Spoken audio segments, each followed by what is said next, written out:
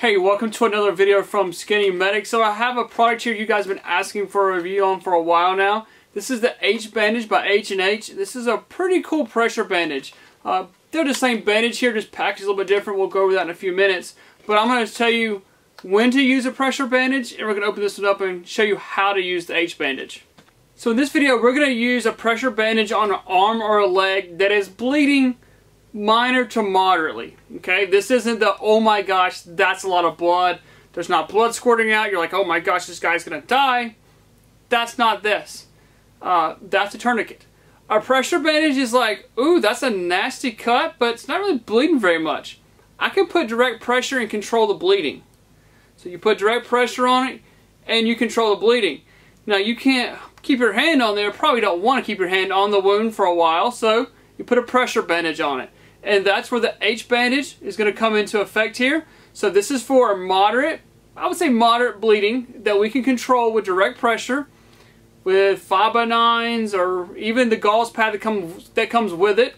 Uh, but we can use that to control bleeding and we wrap it up and secure it. This is for an injury that does not need a tourniquet. So the H bandage comes two ways. You have a flat fold and a standard fold. The standard fold is really still not bad at all. This will fit in, I would say, the majority of your pouches that you're going to carry for an IFAK, so no big deal there. But the flat fold, man, I am super excited about that. Same width, but you can see how thin this is. Really excited about opening the flat fold up. On both of these packaging, you have multiple tear points. This is some super thick mil plastic here that you're not just able to tear it uh, in places that you don't already have tear tabs. So they've indicated the tear tabs that are outlined in black. So anywhere there's a black area, we can tear it open. So I'll show you here just to kind of other some other 4 inch bandages here because this uh, H bandage is a 4 inch bandage. Just to kind of show you some size comparison. Here's the NAR 4 inch flat so we can kind of hold it up to see the difference there. And then this is an OLAES bandage here that's flat so you can see there compared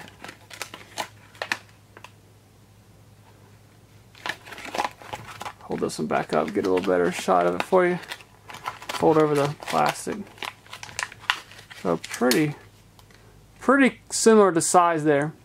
Alright so let's open up take a look what we have here. So unfold it here.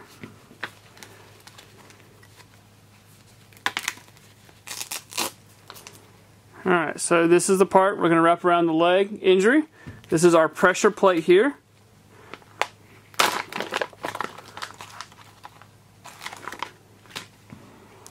Alright, so here's the flat fold, the way it comes out of the packaging here.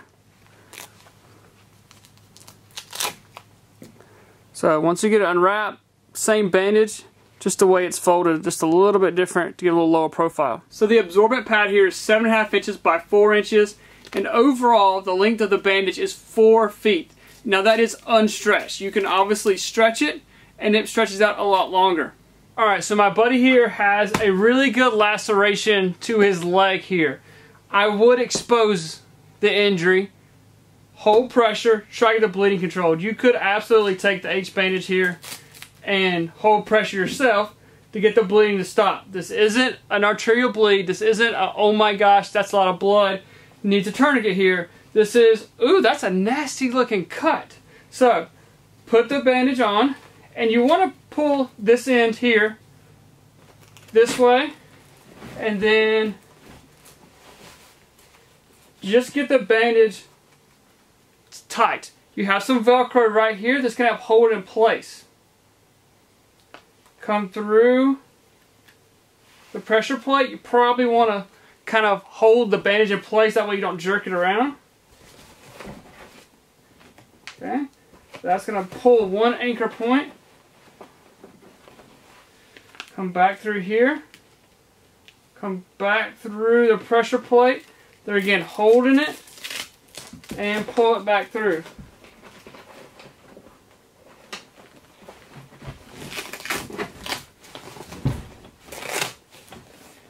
When you come back across, I would cover up the pressure plate here to kind of protect it. You've got some Velcro here that's going to hold it in place. And you also have a clip here that's going to secure it. So when you finish up here, you've put pressure on this side and this side pulling it, which is going to put direct pressure onto our wound. And then you can use the Velcro and the clip to secure it. Alright, so we'll take a little bit closer look here at the arm. Kind of, I'll go a little bit slower this time so you can see. So, abdominal pad goes over the wound. You've got this tail section here that has Velcro on it, so when we wrap it around, this is going to hold in place. So I hope that makes sense in the video. So I'll spin this around just so you guys can see a little bit better because it ends up it's on the back side of the arm. So this, when come around, is your Velcro that holds the bandage in place. So if this was his injury, you've got that piece of Velcro there that's holding the bandage in place. There again, I hope that makes sense in the video. You've got your pressure plate here, so we come through it again. Hold the bandage so it doesn't slide around. Come back on the other side. We're to go through the pressure plate again. Hold it down.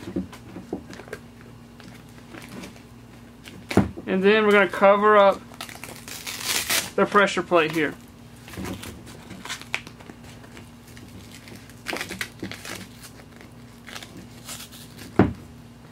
You've got Velcro here that's going to hold it in place.